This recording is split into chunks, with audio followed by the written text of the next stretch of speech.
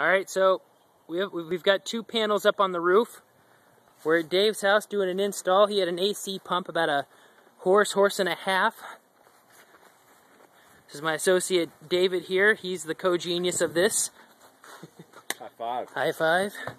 Okay, so what we have in here, standard pool setup, we've got the filter right there, and then that's going to be the moneymaker. What we did, so we took out that pump right there, and we replaced it with this DC pump right here that require that is being powered only by the two panels on the roof. And we're going to demonstrate right now how to turn it on and, and what the system looks like. So have Davey go go over here. So we have over here.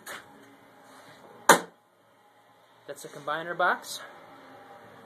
And then that's all we got to do. So the green light means we're good. Double green light pump on. System on, pumps on. So there's just one switch.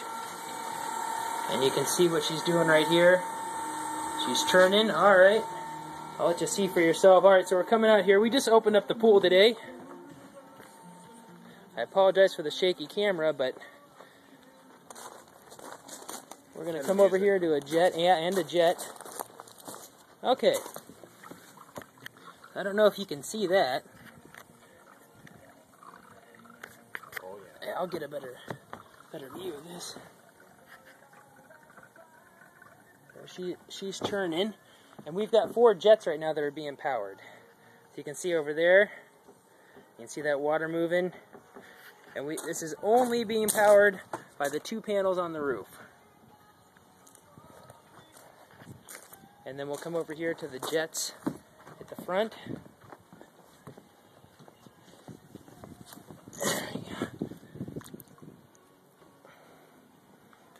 And we'll just do that. 4,000 gallons an hour, between 24 and 30,000 gallons a day.